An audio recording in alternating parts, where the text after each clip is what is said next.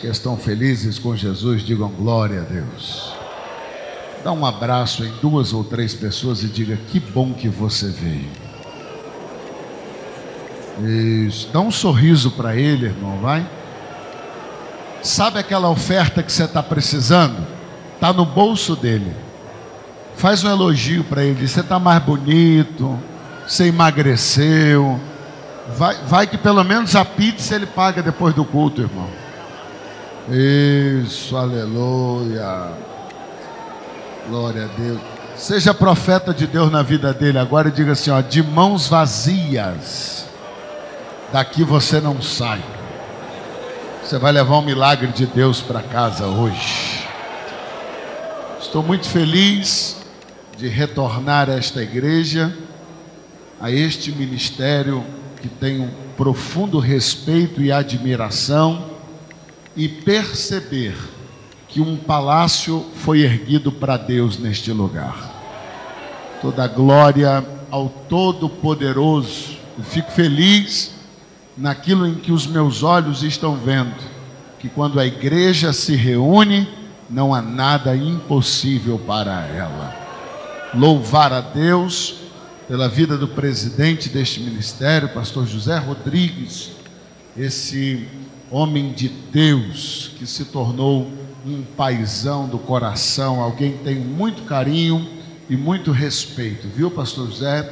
É uma alegria revê-lo e estar com o Senhor mais, a, mais uma vez. Também nosso amigo, nosso irmão, pastor Neemias Araújo, senhor está elegante, hein, chefe? Esse sapato aí, nem Salomão usou um sapato desse.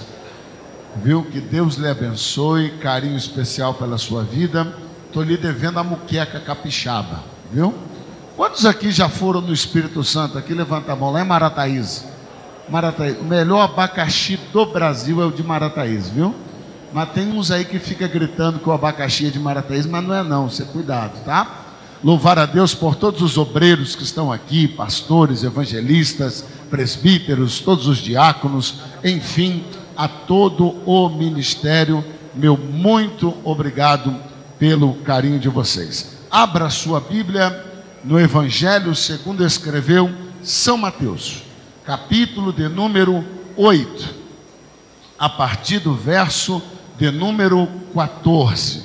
Nós vamos ler dois versículos, crendo que o bom Deus vai continuar falando conosco nesta noite. Deus tem uma palavra para nós neste lugar. Mateus, capítulo de número 8. Estou feliz, irmãos, porque já perdi 55 quilos. Aí tem gente que não me conhecia antes, olha assim, diz assim: Meu Deus, se esse moço já emagreceu 55 quilos, de que tamanho que não era isso? Era grande mesmo, irmão. Era, era 500 quilos de puro fogo santo e poder, irmão. Viraram para mim e disseram assim: Pastor, o apelido do senhor é bola de fogo.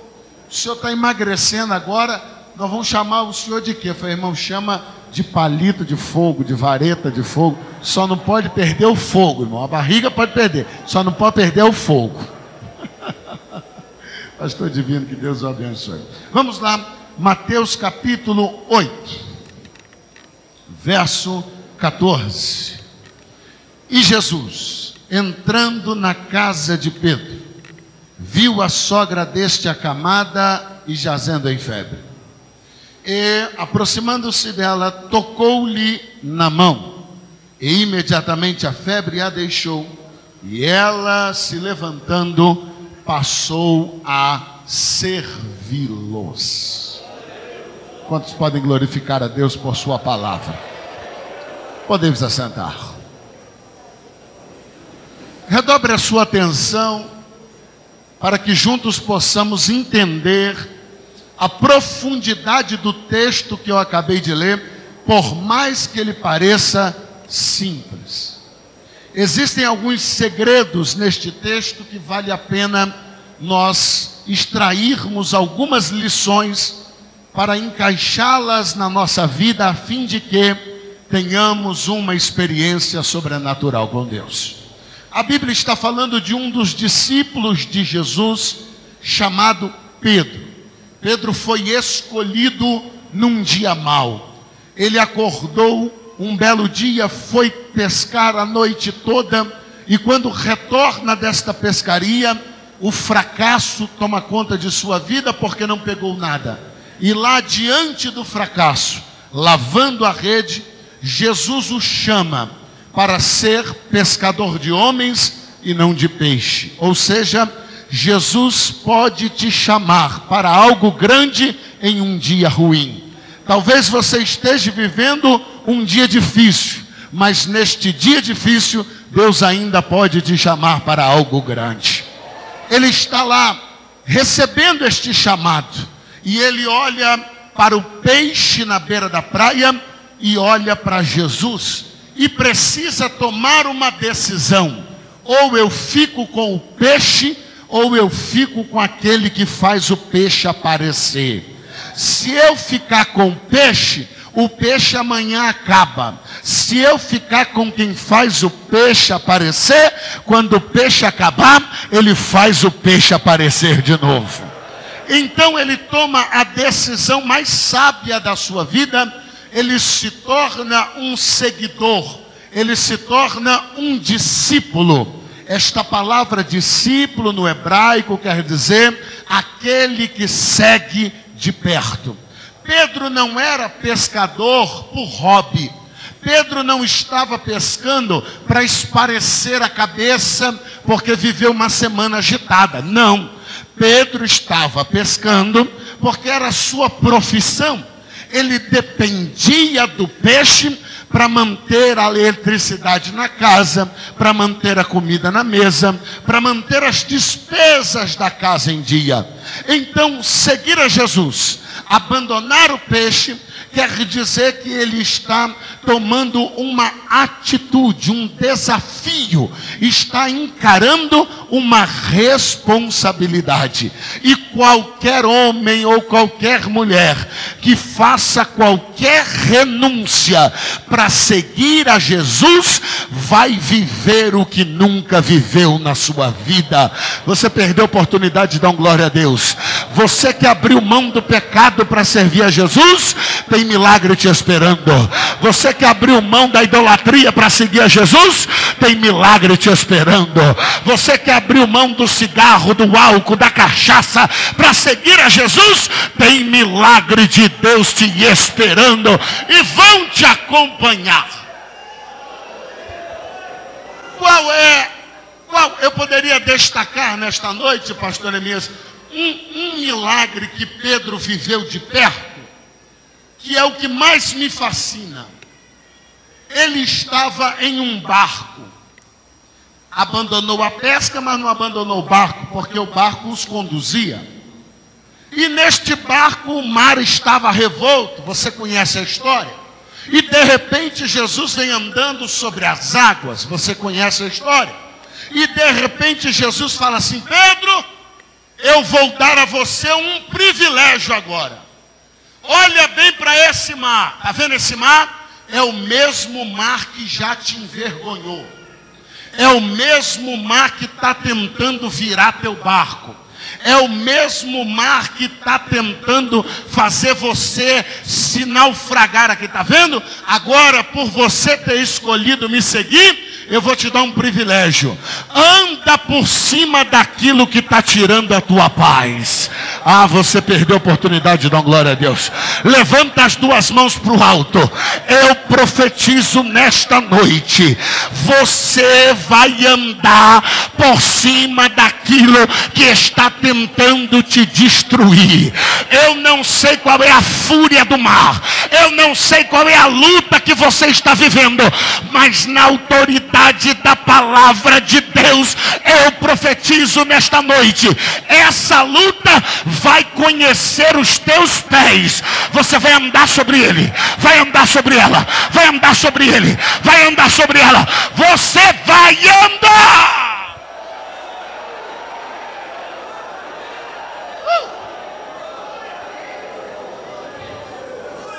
Vamos lá.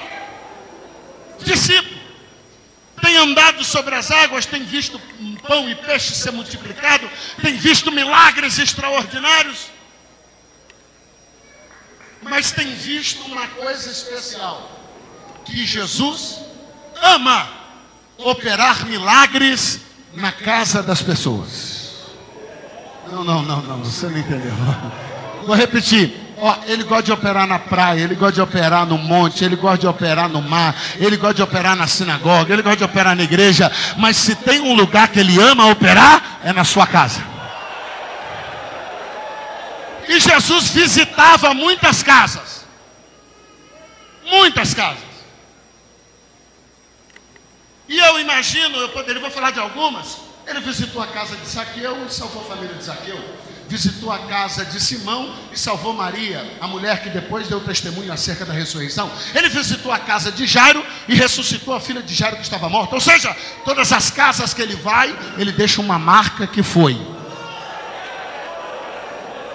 Mas imagine agora, pastor José Rodrigues, Pedro, olhando Jesus operar na casa de todo mundo. E quando ninguém vê, quando a luz apaga, quando o culto acaba, quando ele reclina sua cabeça em sua tenda, ele se lembra da sua própria casa. E lembra que dentro da casa dele tem alguém doente.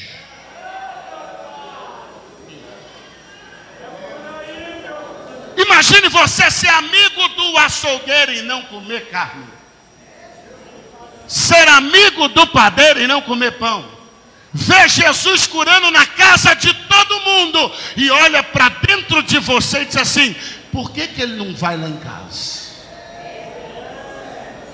Pastor, o que o senhor está dizendo? Que o fato de você ser discípulo, o fato de você ser um seguidor, não lhe impede de ter um problema familiar, mas te dá garantia e a certeza de que este problema tem data de validade para durar.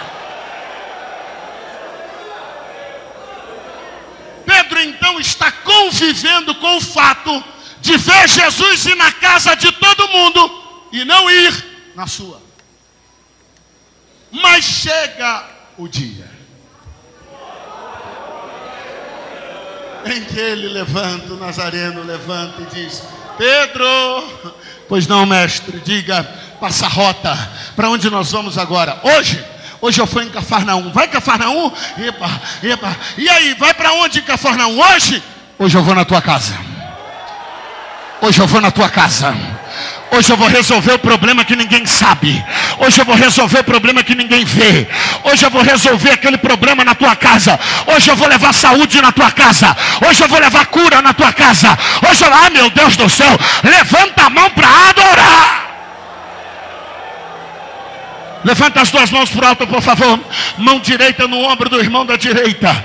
Mão esquerda no ombro do irmão da esquerda. Vai, coloca a mão no ombro dele. Agora tira ele do lugar e diz: Se prepara. Ele vai na tua casa. Resolveu que ninguém sabe. Resolveu que ninguém está vendo. Levar cura, levar avivamento, levar poder, levar unção. O milagre vai chegar lá. Quem pode adorar? Quem pode adorar? Quem pode adorar? Quem pode adorar? Pedro toma um susto. O senhor vai na minha casa? Não vai dar tempo de eu avisar a minha esposa. Quantos são casados aqui? Levanta a mão. Se você não quer arrumar um problema com a tua mulher, não leve visita na tua casa sem avisar ela. Coitado, pode ser pastor, obreiro, pode ser o que for. Se tu levar visita na tua, o senhor pode levar o pastor José Rodrigues, o pastor Nemia, na tua casa. Se tu não avisou tua mulher que ia levar, ela vai te chamar no canto e dizer assim: Por que você não me avisou? Sim ou não, irmão? Sim ou não? Me ajuda aí, irmã. Sim ou não? Sim. As irmãs gostam de passar um olhinho de peroba varrer uma sujeirinha para debaixo do tapete, botar uma aguinha no feijão, Tá camuflado não tem. Mas sabe o que aconteceu? Jesus está dizendo assim: não precisa avisar, não, Pedro, porque eu quero a casa do jeito que ela está.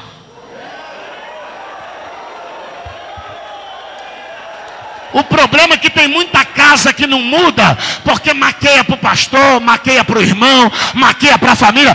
Deixa ela do jeito que ela está.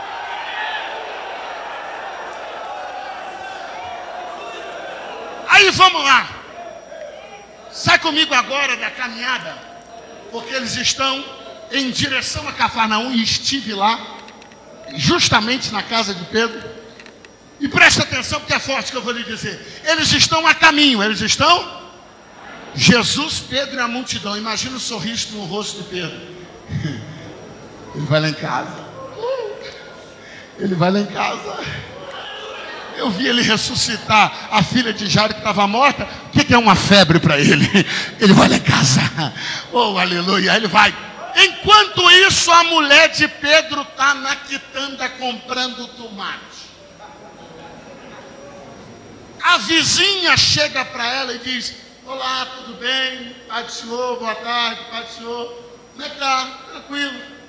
É, por onde anda teu marido, que eu não tenho visto? Não, ele agora, ele parou de pescar? Parou. É, menino, ele está fazendo o quê? Virou de si. Virou seguidor de quem? Jesus. É mesmo? É esse Jesus famoso aí que está operando milagre? É. Meu marido é assim com ele.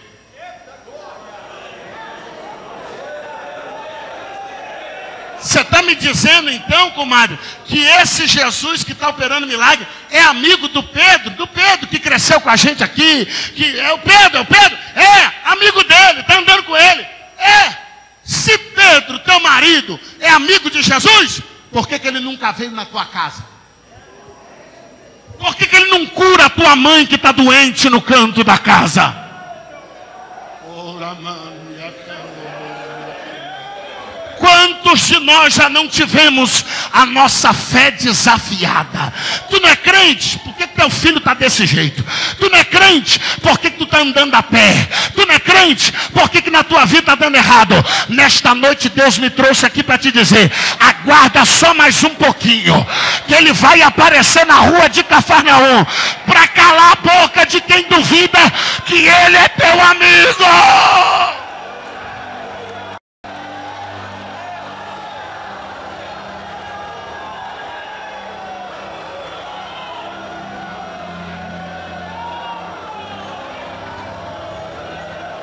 Segura aí.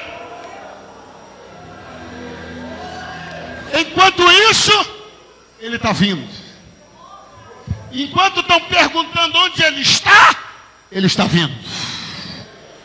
Oh, aleluia.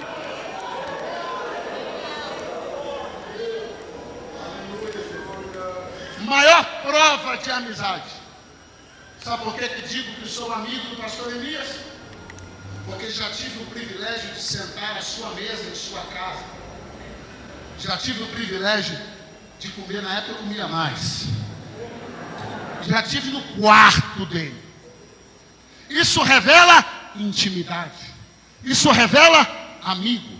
Jesus, quando vai na casa de Pedro, Jesus está dizendo assim: ó, vou mostrar para a tua família, vou mostrar para a tua rua, Vou mostrar para o teu bairro. Vou mostrar para a tua cidade que eu sou mais que teu Senhor. Eu sou teu amigo. Eu sou teu amigo. Eu sou teu amigo. Eu sou teu amigo. Eu vou resolver esse problema para mostrar que eu sou teu amigo. Eu vou abrir essa porta para mostrar que eu sou teu amigo. Eu vou curar para mostrar que sou teu amigo. Vou levantar para mostrar que sou teu amigo. Eu venho profetizar nesta noite. Vai acontecer um milagre na tua vida que todo mundo vai olhar e dizer: é verdade mesmo. Ele é amigo de Jesus. Ele é amigo de Jesus. Ele é amigo de Jesus. Só quem acredita nesta palavra faz barulho para adorar.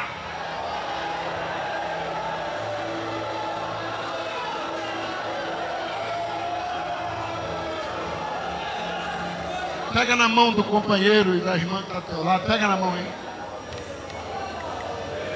Balança a mão dele. E diga assim: Ele vai entrar na tua casa.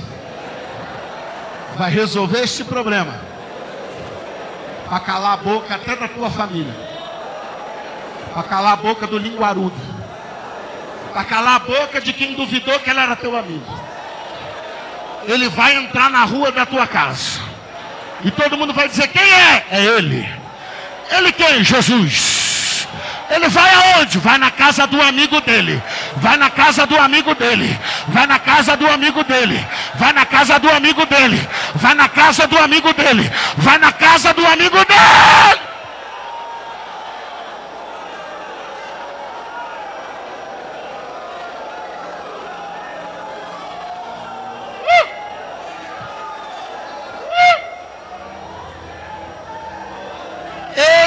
Vai entrar numa área da tua vida que precisa de um grande milagre para todo mundo ver que Ele é mais que teu Senhor. Se você quer tê-lo só como Senhor, tudo bem, mas eu quero ouvir dele. Não vos chamo mais de servos. Chegou a hora de vocês me conhecerem como amigo. Amigo pede dinheiro, a gente até não tem, mas empresta. Amigo, irmão, estou falando de colega não. Pelo amigo a gente faz o que não faz para qualquer um. Eu, para muitos, faço algumas coisas. Para os amigos, eu faço outras. Jesus, quando olha para esses discípulos e diz: Vos chamo de amigos, Jesus está dizendo: Por vocês, eu vou fazer diferente.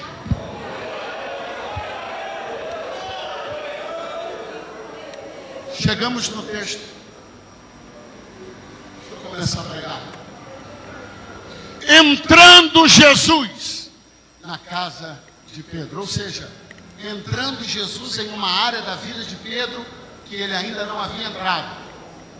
Porque você pode ser crente, mas tem uma área da tua vida que Jesus ainda não entrou. Você precisa de um milagre lá. Você pode ser uma benção, mas existe uma área da tua vida que Jesus precisa lá para resolver um problema. Ou não? Só eu que preciso? Ele entrou. Quando ele entra, ele às vezes demora, mas quando chega, entra. Tem hora que ele só olha de fora, mas quando ele entra, entrou. Entrou com ele? Entrou na casa? Entrou na casa? Entrou na casa? Primeira coisa que ele vê, quem está no canto. Como é que o senhor sabe que ela está no canto? Porque a cultura judaica coloca o doente no canto. E se parece até com a brasileira. Enquanto você é útil, te põe no meio. Quando você perde a utilidade, te bota no canto. Quando você tem dinheiro, te bota no meio. Quando perde dinheiro, te bota no canto. Quando a geladeira está cheia, todo mundo te liga, todo mundo te chama. Quando você quebra, todo mundo te bota no canto. Quando você está por cima, está no meio. Quando você cai, te botam no canto.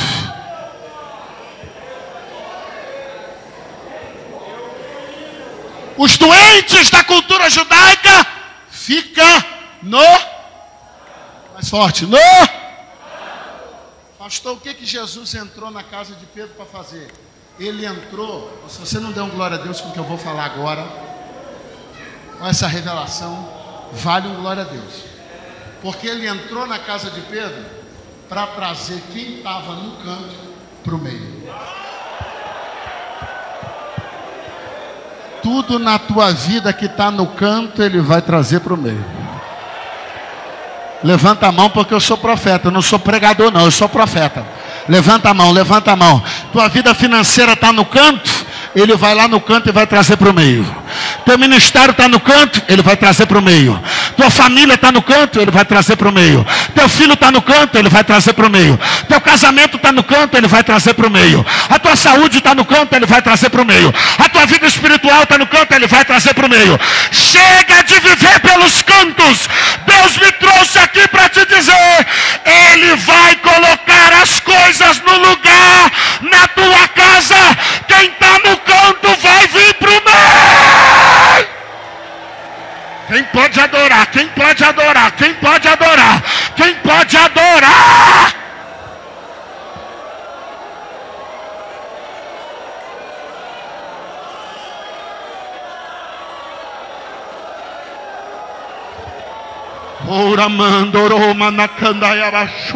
Oh, essa luta te botou no canto, essa prova te botou no canto, essa febre te botou no canto, oh, essa barreira te botou no canto, mas na autoridade do nome de Jesus eu digo: Ele traz quem está no canto para o meio, Ele vai lá pegar na tua mão e vai dizer: Vem cá, minha filha, vem cá, meu filho, aonde você vai me levar, Jesus? Eu vou te levar para o seu lugar, o seu lugar é no meio, no meio, no no meio, no meio, no meio, no meio, no meio, no meio.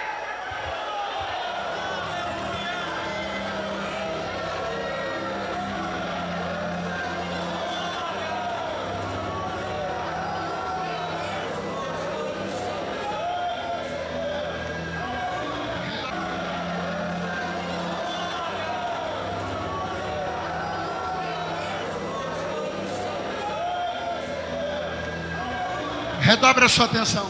e dá retorno aqui, filho. Por que, que ele traz para o meio? Como é que o senhor sabe que ele trouxe para o meio? Porque a primeira coisa que ela fez depois de curada foi servir. Sabe o que a Bíblia está dizendo?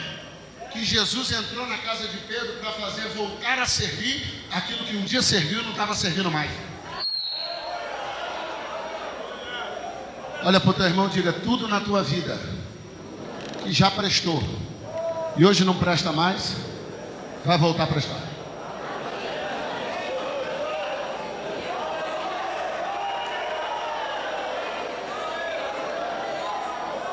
Ela servia, mas por causa de uma tragédia da vida, por causa de uma febre, deixou de servir. E Jesus entrou para dizer assim: Eu vou fazer você voltar a fazer o que você fazia. Vai voltar a correr na igreja igual corria. Lembra, lembra quando você chorava mais? Está na hora de voltar. Lembra, lembra como você falava em mistério? Lembra ou não? Lembra, lembra do teu apetite pela palavra? Lembra, lembra? Lembra que quando você vinha mais na escola dominical, mais no curso de doutrina, você lembra? Pois bem, vai voltar, vai voltar. Lembra quando teu marido te acompanhava? Vai voltar. Lembra quando teu filho era uma bênção, deixava você arrumar ele e ele ficava sentado na escola dominical, lá na classe das crianças? Pois é, eu profetizo, vai voltar para o lugar.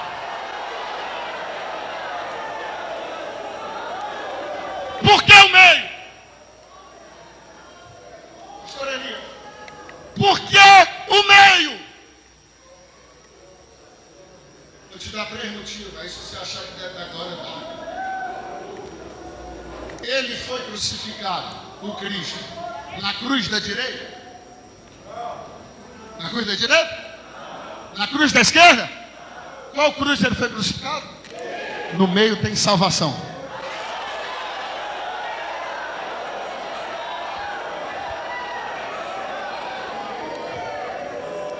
Mais um motivo?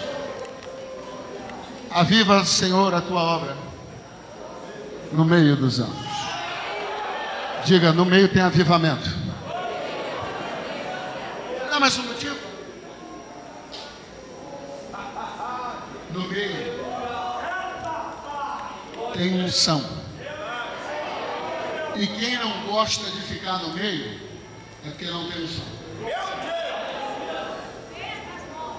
O que é unção? Unção é a capacitação para um propósito. Pastor, explica melhor, vou explicar. Meio é holofote. Se eu ficar aqui, nem todo mundo me vê. Mas se eu ficar aqui, todo mundo me vê. Deus está dizendo, eu vou dar visibilidade para a tua chamada, para a tua vida, para a tua família. Meio é lugar de evidência. E por que, que muita gente se esconde? Porque para estar em evidência tem que ter costa larga para aguentar pedrada. Meio não é lugar para frouxo. Quer ganhar mais? Quer se destacar na tua empresa? Tenha coragem para ir para o meio e dizer: Eu vou aqui, Deus vai dar essa empresa na minha mão, eu vou ser o gerente disso aqui, eu vou trabalhar. Ah, não, você não está entendendo. Davi tinha um chamado. Tem gente que não adianta só ter chamado. Chamado, ele te chama no canto, mas unção só te dá no meio. Por quê? Porque quando o profeta chega com a unção na casa, os irmãos estão reunidos. Davi estava no canto ou no meio? No canto. O menor está com as ovelhas, está lá no canto. É chamado, está no canto. Samuel disse: chama ele aqui. Enquanto ele não estiver no nosso meio. Tem coisa na tua casa que só vai começar quando você for pro meio, rapaz. A casa de Jessé recebeu um príncipe porque Davi foi para o meio. A casa de Jessé recebeu riqueza porque Davi foi para o meio. A casa de Jessé teve um rei porque Davi foi para o meio. Tu quer mudar tua casa? Sai do canto e vai para o meio.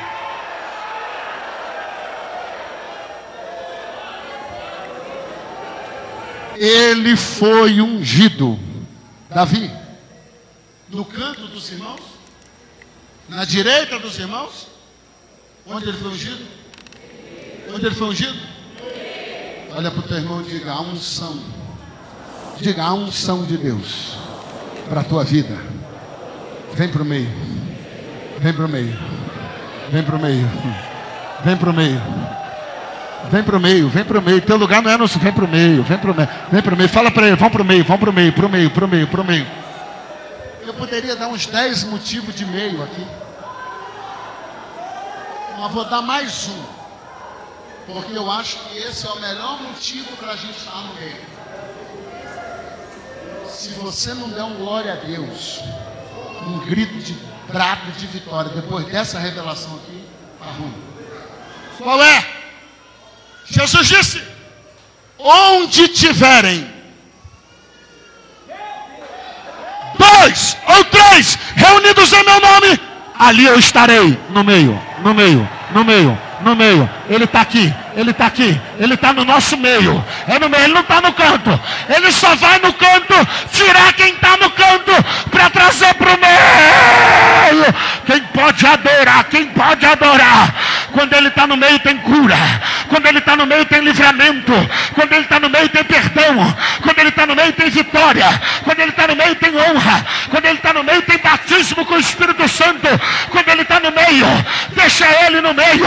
Vem para o meio com ele. É no meio que está a tua vitória. Deus me trouxe aqui para te dizer.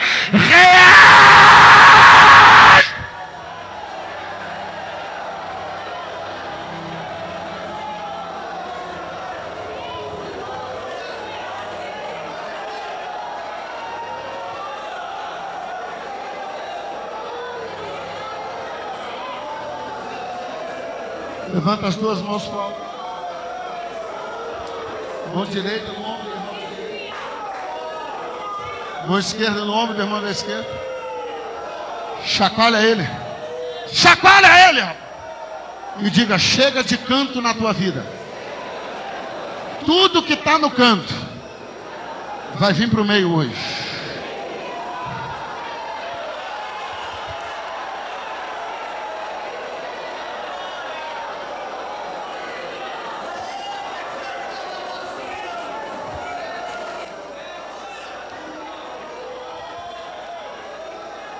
A unção no meio te protege.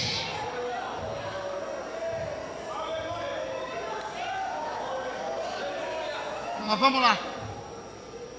Como ele trouxe ela para o meio? A Bíblia diz que ele tocou na mão. Tocou aonde? Mais alto, participa. Tocou aonde? Duas coisas têm que ser destacadas. Primeiro, o fato dele tocar. E depois, o lugar onde ele tocou. Por que, que o tocar é um destaque? porque ele não está acostumado a tocar em ninguém. Calma, vou te explicar. Chega um cego para ele e diz assim: Eu quero ver. Você quer ver? Enxerga. Chega um paralítico para ele e diz: Eu quero andar. Quer andar? Toma sua cama anda. Chega um leproso para ele e diz: Quero ser limpo. Quer ser limpo. Ele vira para o mar e diz: Cala-te. Vira para o vento e diz: Aquieta-te. Todos os milagres dele são feitos pela mas na casa de Pedro ele fez questão de pôr a mão.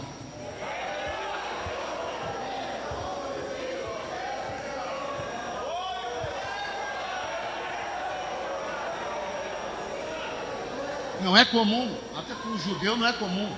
Nós no Brasil, nós abraçamos. Eu cheguei já dei um abração no pastor, dei um beijo nele. Judeu não. Judeu não fica se tocando. ainda mais esse judeu aqui que eu estou falando. Ele não sabe botar na mão em qualquer um, em lugar nenhum. Ele faz milagre falando. Por quê? Porque o pai dele, no Antigo Testamento, no Antigo Testamento, só botou a mão em três coisas. Primeira, no barro. Fez questão de botar a mão, porque quando ele bota a mão, o diabo pode até não gostar da tua cara, mas se ele botou a mão, vai ter que te engolir. Não pode nem gostar do teu ministério, mas se a mão de Deus está lá, irmão, pode falar, pode ficar com dor de cotovelo, pode fazer o que for, vão ter que te aceitar, porque a mão de Deus está lá. O que a mão de Deus está, pode ser imperfeito, mas tem a mão de Deus. O barro. Segunda coisa que ele botou a mão, a pedra, para escrever a aliança. Moisés tentou quebrar e disse: sobe lá que eu vou escrever de novo. Porque o que eu boto a mão ninguém quer. Perdeu a oportunidade de dar um glória a Deus. Você não pode perder essas oportunidades. Eu vou repetir para você entender. O que eu boto a mão, o que eu boto o dedo, ninguém quebra. Se quebrar, eu escrevo de novo. Terceira coisa que ele botou a mão, terceira, Mené Tekefa assim. Palavra de sentença decreto. O que ele põe a mão está decretado. O homem, ele mesmo que destruir e não pôs, porque tem a mão dele. A aliança com Israel é o povo mais idoso, mais que vira as costas para ele é Israel. Vocês acham que os judeus é crê? É isso? São os que mais se viram. Mas tem uma aliança. Ele fez, ele jurou, ele prometeu, ele botou a mão. Mené, mené, quer fazer assim. Cara, o rei podia fazer o que for. Uma vez falado e assinado, ponto final sua vitória está garantida. No Antigo Testamento ele botou a mão em três lugares. No Novo, ele bota em dois. Uma, no barro de novo. Que barro, pastor? É areia. Não, vai em Israel que você vai ver que é barro. Lá não é mar, é rio. Vocês são mineiros, vocês sabem que rio que tem na beira de rio é lama, é barro. Jesus está escrevendo no barro. Jesus está escrevendo. Você deu errado da primeira vez, Adão. Mas eu sou o novo Adão e vim dizer que deu certo. E onde ele põe a mão? Aleluia. Por isso o tocar merece destaque. Porque um leproso ele não botou a mão, um cego ele não botou a mão, um paralítico ele não botou a mão, um morto ele não botou a mão. Aí numa febrezinha, é como pegar o canhão, a bazuca do poder. É como dizer assim, ó, e ninguém eu vou ter a mão. E você eu vou pôr. Na tua casa eu vou pôr.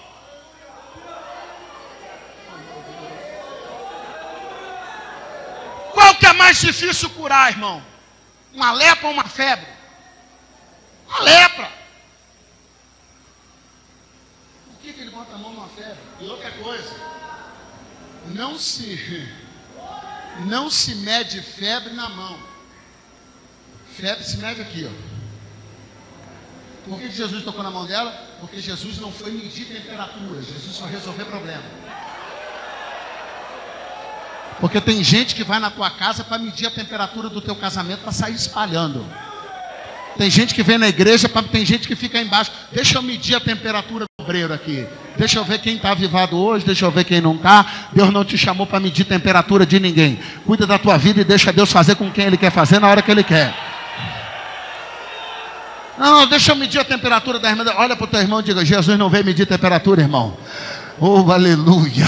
Ele veio fazer quem está frio ficar quente. Ele veio fazer quem está quente ficar mais quente ainda. Ele vem para resolver, resolver, resolver, resolver.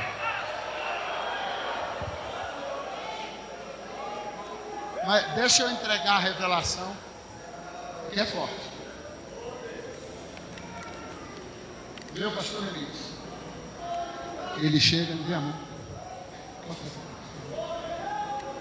A Bíblia diz que ele vai lá e toca na mão. Mas se você soubesse o que é o toque da mão dele.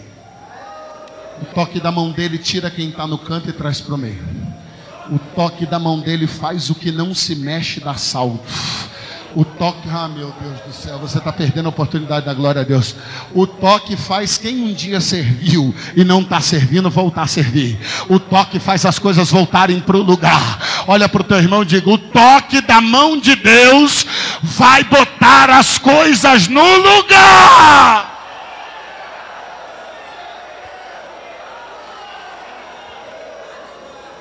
Eu quero saber por quê. Numa madrugada, lendo esse texto, ele dava um nó na minha cabeça. E eu fiquei horas, meu pastor, dizendo: enquanto o senhor não me disser, por que, que o senhor botou a mão na casa dele? Eu não largo esse texto. E ele me disse, irmão, eu não vim aqui pregar mensagem de internet, não, irmão. Eu não vim aqui pregar mensagem de DVD de outro pregador que copia e vim ensaiar para pregar, não. Eu vim pregar algo que Deus me disse para pregar uma palavra revelada para a tua vida. E ele me disse: Sabe por que eu botei a mão na casa dele?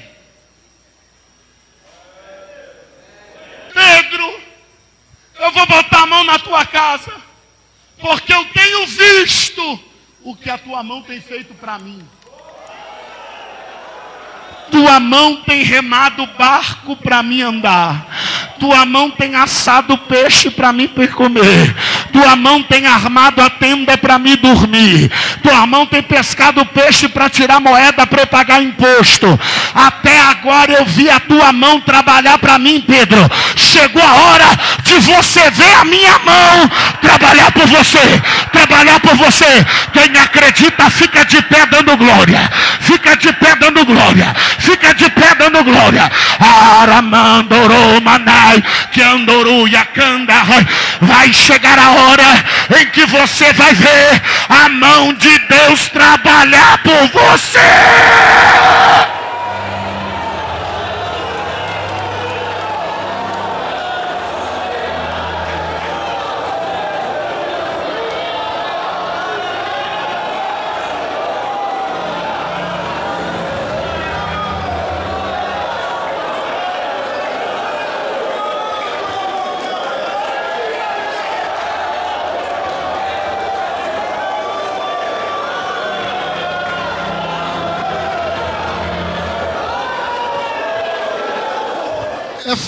Essa palavra, companheiro. Tu acha que Deus não tem visto o que a tua mão tem feito? Tu acha que Deus não tem visto o que a tua mão tem feito? Vai chegar a hora que ele vai entrar e vai dizer: Eu tenho visto a tua mão trabalhar. Agora é hora de você ver a minha mão trabalhar por você.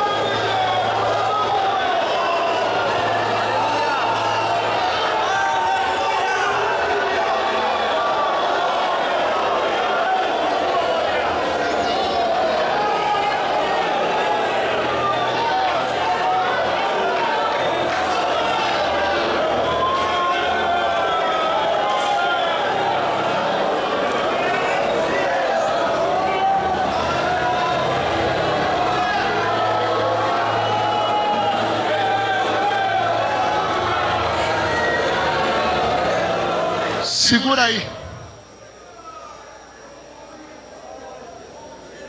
Para mim, pastor José Rodrigues. Pastor Neemias. O versículo mais profundo da Bíblia. Vou falar como alguém que ama essa palavra e a estuda. O, o versículo para mim mais profundo que revela a grandeza de Deus. Que para mim faz ele ser maior do que qualquer outro que se diz Deus é este. Desde a antiguidade, nunca se viu, nunca se ouviu acerca de um Deus que trabalha por aqueles que nele esperam.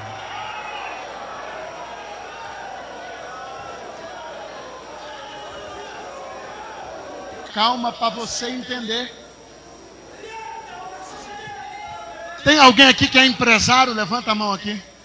Empresário, você tem uma empresa, você tem funcionário. Levanta a mão. Quero saber, você tem, você tem alguém que trabalha para você? Você tem alguém que cumpre as suas ordens?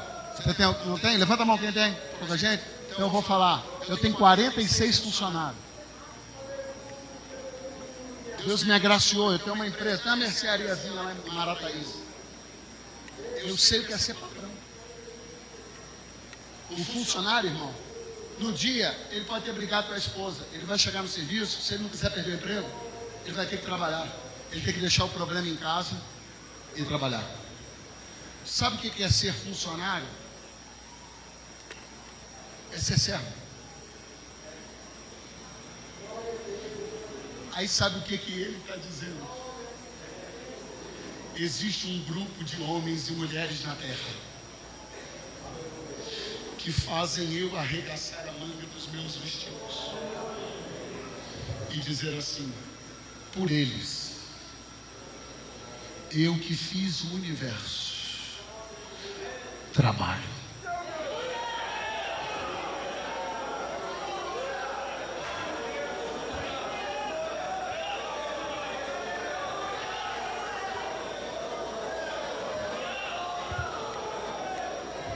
Sabe quem trabalha por você?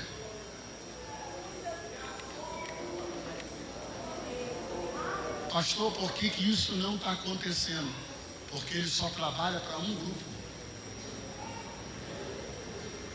Ele não fez isso na casa de outro. Ele não fez isso na casa de Jairo, sabe por quê? Por que, que na casa de Jairo foi igual a todo mundo? Porque Jairo era igual a todo mundo. Porque na casa de Pedro foi diferente, porque Pedro era diferente. A mão de Pedro estava disponível para remar barco, a mão de Pedro estava disponível até para pegar a espada e cortar a orelha. E sabe o que Deus mais admira no homem? Não é o que ele fala, porque a boca de Pedro negou, mas a mão de Pedro provou que morria por Jesus.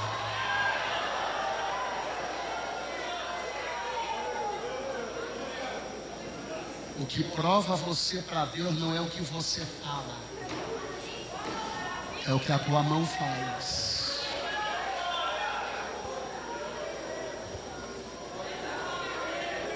O que vai fazer Deus trabalhar por você não é o que a tua boca fala, é o que a tua mão faz. E se a tua mão trabalhar para Deus,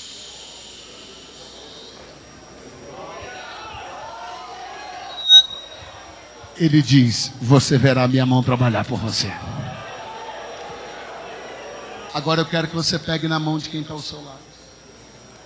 Feche os corredores agora. Feche os corredores agora. Segura na mão de alguém. Segura, pode segurar aqui no altar, na mão dos companheiros. Segura.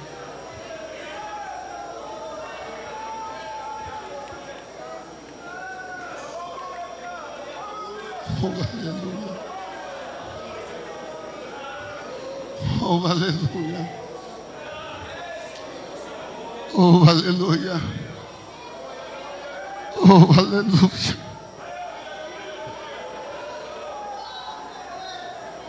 Você vai ver a mão de Deus trabalhar por você. Você vai ver a mão de Deus trabalhar pela tua família.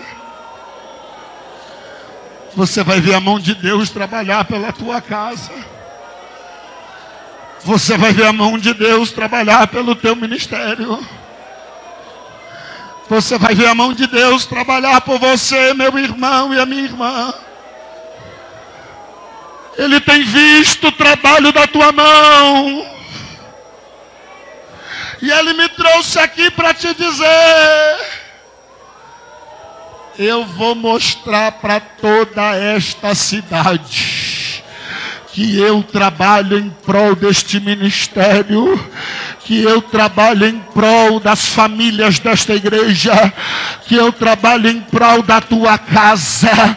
O Deus que trabalha por aqueles que nele esperam, me trouxe aqui para te dizer: o que na tua casa está caído vai ficar de pé, o que na tua casa está no canto vai vir para o meio, o que na tua casa está por baixo vai vir para cima, o que na tua casa está por último vai vir para frente. O que na tua casa está humilhado vai ser honrado. O que na tua casa está perdido vai ser salvo. O que na tua casa está oprimido vai ser liberto. O que na tua casa está enfermo vai ser curado. O que na tua casa está frio vai ser cheio do Espírito Santo. O que na tua casa está difícil vai ficar fácil. O que na tua casa está destruído será reconstruído. O que na tua casa está caído vai ser erguido. Vai ter virada na tua casa casa, vai ter virada no teu ministério, vai ter virada na tua vida.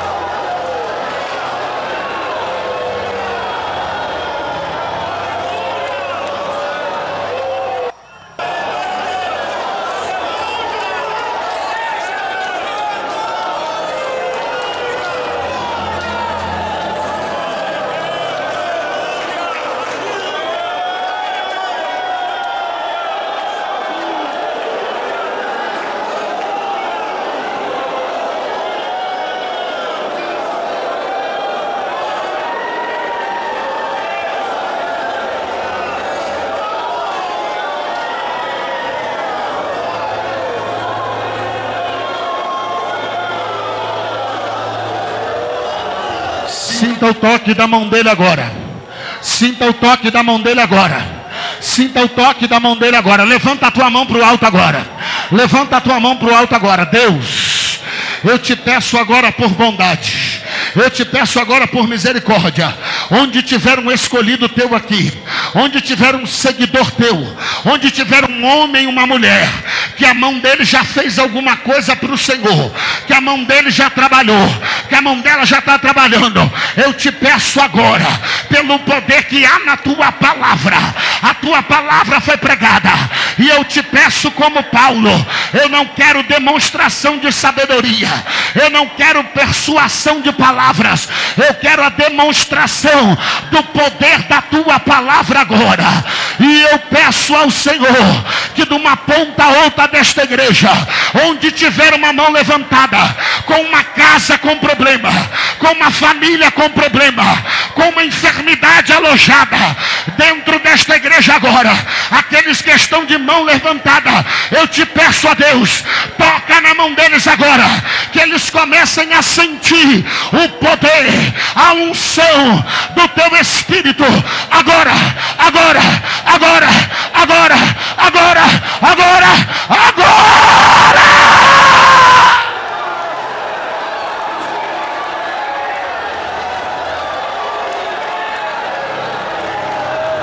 Seja cheio do Espírito Santo. Seja cheio do Espírito Santo. Volta a assumir teu lugar. Teu lugar é profeta. Teu lugar é de profeta. Teu lugar é de guerreiro. Teu lugar é de obreiro batalhador. Sai do canto. Vem para o meio. Vem para o meio. Vem para o meio.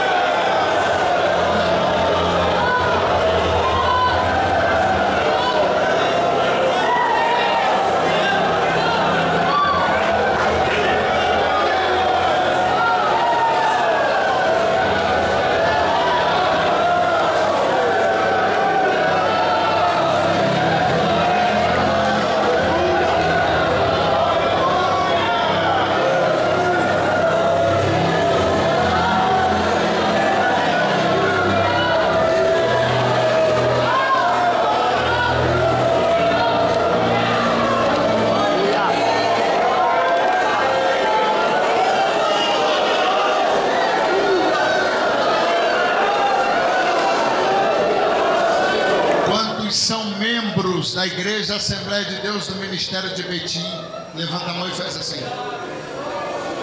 Abaixa a mão. Quantos são membros de outra igreja evangélica e nos visitam nesta noite? Faz assim. Balança a mão. Quantos aqui não são evangélicos ou já foram um dia e hoje não são mais, estão aqui? Levante a mão e faz assim para me ver.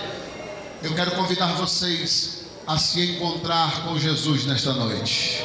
Você que está no nosso meio e não é evangélico ou já foi e discutiu, decepcionou-se, brigou com alguém, há muito tempo não toma ceia e gostaria de nesta noite receber uma oração para voltar para Jesus ou aceitá-lo, eu quero orar por você. Saia do seu lugar e venha aqui. Você que está nesta condição nesta noite, você que precisa de um encontro com Deus, você que está no canto e quer vir para o meio, esta é a oportunidade. Tem alguém, eu lhe dou um tempinho, não vou lhe dar muito. Venha, saia do seu lugar, toma coragem e entregue a sua vida. Oh, aleluia! Quantos podem dar um glória a Deus nesta noite? Olha para o irmão do teu lado e diz: Nosso lugar é no meio. Diga: Nosso lugar é no meio. Vem para Jesus, cadê você?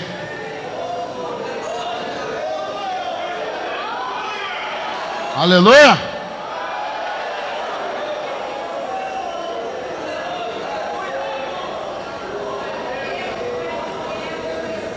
Nós abençoamos a vida desses jovens. Estenda a mão para cá, igreja. Transforma, liberta, restaura. Escreve o nome no livro da vida, Senhor. Mostra que tu és Deus, glorifica o teu nome. Em nome de Jesus, amém. Deus te abençoe, meu.